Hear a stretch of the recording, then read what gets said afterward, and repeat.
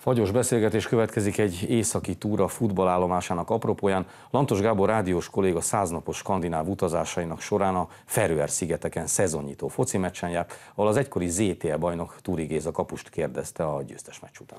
De egy itánynak tökéletes a kettő egy, nem? Így igaz, így igaz. A győzelem a fontos, úgyhogy remélem, hogy ezáltal jó rajtot veszünk. Egyébként volt két nagyon nagy védésed. Az első fél időben ennyi, amikor messziről rászúrták, és itt a második fél időben is egy, amikor a rövid sarkot kellett zárni, Hát ugye? igen, ezek rutin feladatok, úgyhogy ezek, ezeket meg kell oldanom. Láttam, hogy a fiat gratulált elsőnek. Általában ő rohan be hozzám legelőször, így igaz. Boldogok vagytok? Nagyon? Nagyon, nagyon, nagyon. Majd meghallod a énekünket. Nehéz meccs volt egyébként belülről? Igen, igen. Mi igen. volt benne? Nehéznek is szántuk, illetve gondoltuk, hogy lesz. Hát az is lett, ugye az első, első mérkőzés az idényben. Hát ők akarnak, nagyon-nagyon akarnak, bent szeretnének maradni, illetve egy középmezőnybe szeretnének lenni a, a végén, mi meg ugye meg szeretnénk nyerni a bajnokságot. Egyébként annyit még talán megengedsz nekem, hogy az első fél időben gyakorlatilag a csapatodnak kapura lövése se volt, nem hogy helyzete. Ö, Talán azt mondanám, hogy idén elejé forma, de aztán a másik fél időben ezt, ezt megmutattuk, hogy, hogy azért, azért tudunk fotbalozni. És itt a Ferőeri tél most fölvonultatja minden szépségét. A születben gyönyörű napsütés volt, most meg nézd meg milyen idő van. Igen, itt, itt bármikor változhat az időjárás, úgyhogy erre föl kell készülni. Gratulálok nektek Köszönjük. 2-1-es győzelemhez. Köszönjük. Köszönöm szépen.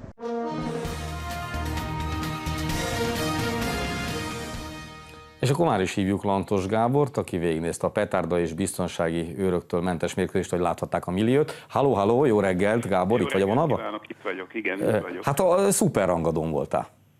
Igen, az idénynyitó itt Götában mindig nagy esemény, és tényleg a békebeli hangulat ö, jó érzésekkel tölti el az embert.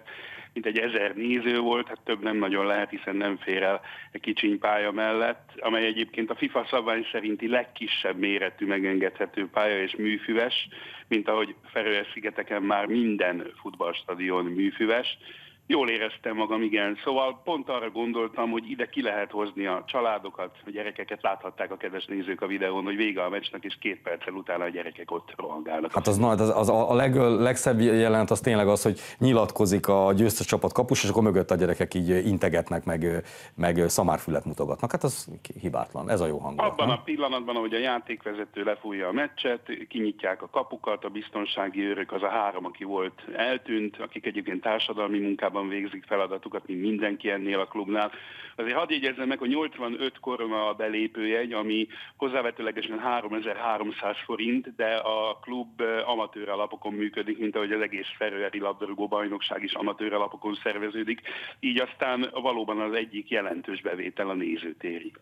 Milyen élményt jelentett a számodra itt most a Ferőeren, ami jellemzi az egész skandináv utadat, hogy ugye túrád, vándorlásod során magyarokat keresel föl, és magyarokkal is találkozol, bármivel foglalkoznak, mindenféle dolgokkal. Ugye itt most Turi Géza, aki nagy megbecsülésnek örvend, de hát játszott ott Bükszegi Zoltán is, aki ugye a halosztályozóban is munkálkozott. Ők úgymond félprofik? Ö, Turi Géza félprofi, egy ablakgyárban dolgozik egyébként napi 8 órában, de emellett azért edzést is tart gyerekeknek, és maga is készül a meccsekre. Van még egy magyar futbalista, Gángó András, aki a Vagari most följutó csapat 29 éves kapuvédője, és majd megyek tovább a jövő héten, illetve ezen a héten Izland északi részére, ahol Matus Sándor, az egykori kiváló szintén kapuvédő, az Akureyri izlandi együttesnek a kapusa, és nem mellesleg idegenvezető jeepes túrákat szervez a Mütvántó környékére. Tehát ami jellemző, hogy azért itt a sport egyrészt valamennyi északi országnak szerves része, másrészt egyáltalán nem élethalál kérdés. És ez az, ami azt hiszem a legjobban megkülönbözteti mondjuk Magyarországot az északi országoktól ebben a tekintetben. Gábor, további jó utat, és ezt a derűt vidd magaddal tovább. Szia!